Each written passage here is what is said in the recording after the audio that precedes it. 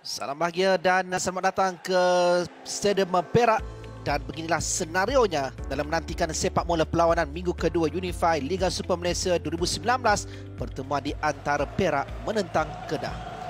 Pertemuan dua pasukan dari utara ini sememangnya menjanjikan aksi yang istimewa. Jadi terus bersama dengan kita Syarul adalah Hakim Marizal yang akan memantau dengan lebih jelas aksi di antara kedua pasukan ini. Jadi Akmal permulaan di antara kedua pasukan ini dengan menyaksikan Perak yang kini cuba mengatur gerak ke arah pintu gol. Wanda Lewis bergerak satu lorongan mencari Fidas Sayani. Peluang yang terbuka tetapi gagal untuk disudahkan. Satu peluang terbaik buat Perak Akmal.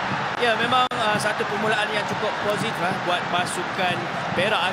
Namun uh, gagal kesempatan itu diambil. Kali ini ruang untuk Kedah melakukan uh, serangan balas. Batas pergerakan mereka. Oman hantaran ke tengah. Hafizul menyelamatkan keadaan. Ada Rodriguez yang memiliki peluang tersebut. Leandro. Pemain-pemain Perak mendakwa bola terkena tangan Ifwat Akmal.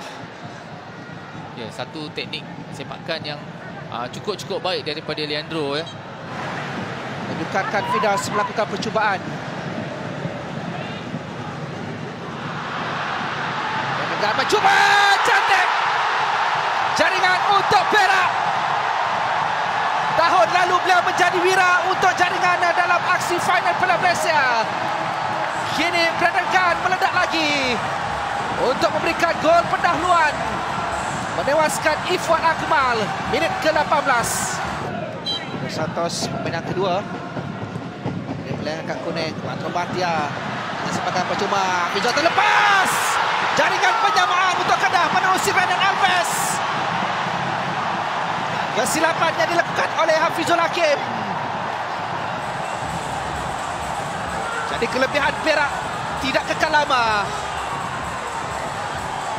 untuk kedudukan satu sama.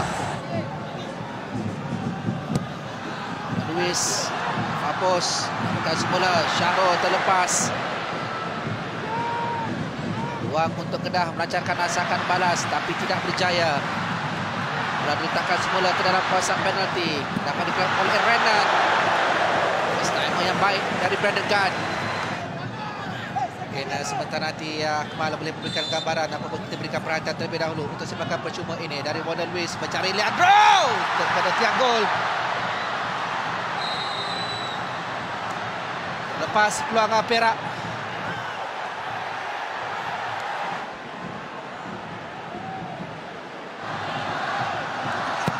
Wanda Luis ditumbuk oleh Ifwan. Beto atau Karim Anwar Selagi kelam kabut. Dan dikecewakan dengan uh, percubaan dia dari Brandon Gunn. Tengah cuba menggunakan uh, tenaga yang ada pada Farhan Roslan.